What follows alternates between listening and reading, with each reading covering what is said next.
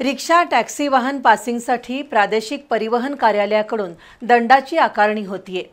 त्याविरोधात rickshaw taxi युनियननं सोमवार मध्यरात्रीपासून रिक्षा बंद आंदोलन केलं होतं. हे आंदोलन शंभर टक्के यशस्वी ठरलं. आज सायंकाळी साडेपाच वाजल्यापासून रिक्षा टॅक्सी प्रवासी सेवेला पुन्हा सुरुवात झाली. त्यामुळं बाहेरगावाहून आलेल्या प्रवाशांना अन्य वाहनाचा आधार घ्यावा लागला.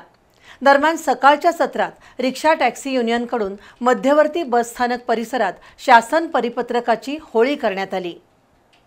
राज्य शासनानं सर्व प्रकारच्या वाहन पासिंगच्या विलंब आकारात वाढ केली आहे. दररोज पन्नास रुपये दंडाची आकारणी केली जाते त्याविरोधात कोल्हापूर शहरातील विविध वाहनधारक व्यावसायिक संघटनांनी आंदोलनाचं हत्यार उपसलं होतं. कोल्हापूर शहर वाहनधारक संघ रिक्षा टॅक्सी युनियनच्या वतीनं प्रादेशिक परिवहन कार्यालयावर मोर्चा निदर्शनं निवेदनं अशा प्रकारची आंदोलनं झाली. त्याची शासनानं दखल घेतली नव्हती. अखेर सोमवारी रात्री अकरा वाजता कोल्हापूर जिल्ह्यातील रिक्षा टॅक्सी वाहनधारक संघटना संघटनांनी वाहन बंदचा निर्णय घेतला. आज दिवसभरात एकही रिक्षा आणि टॅक्सी रस्त्यावर फिरली नाही.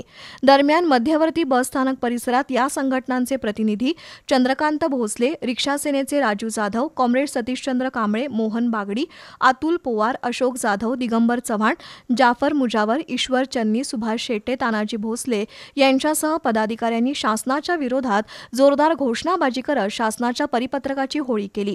दिवसभर रिक्षा टॅक्सी बंद राहिल्यानं बाहेर गावाहून कोल्हापुरात आलेल्या प्रवाशांना केएमटी बससह अन्य खासगी वाहनांचा आधार घ्यावा लागला. सायंकाळी साडेपाच नंतर रिक्षा टॅक्सी चालकांनी व्यवसाय सुरू केला. दरम्यान कोल्हापूर रिक्षा टॅक्सी वाहनधारक समितीनं पुकारलेल्या बंदला इचलकरंजीतील सर्व रिक्षा संघटनांनी पाठिंबा दिला होता. त्यामुळे सोमवारी रात्री बारा वाजल्यापासून शहरातील सर्वच रिक्षा तसंच विद्यार्थी वाहतूकही बंद होती. परिणामी परगावाहून येणाऱ्या प्रवाशांना पायपीट करावी लागली आहे तर विद्यार्थ्यांना शाळेत ने आण करण्यासाठी पालकांना जावं लागलंय.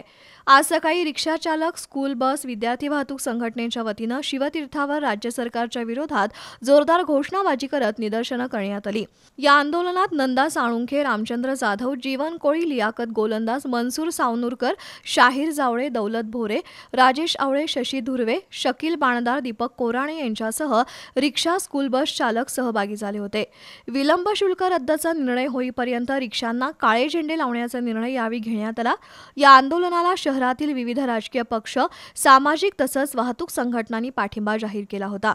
दरम्यान या आंदोलनावेळी प्रवासी वाहतूक करत असलेल्या काही रिक्षा चालकांच्या शिवतीर्थ आणि थोरात चौकात रिक्षा अडवून चाकातील हवा सोडण्याचाही प्रकार घडला.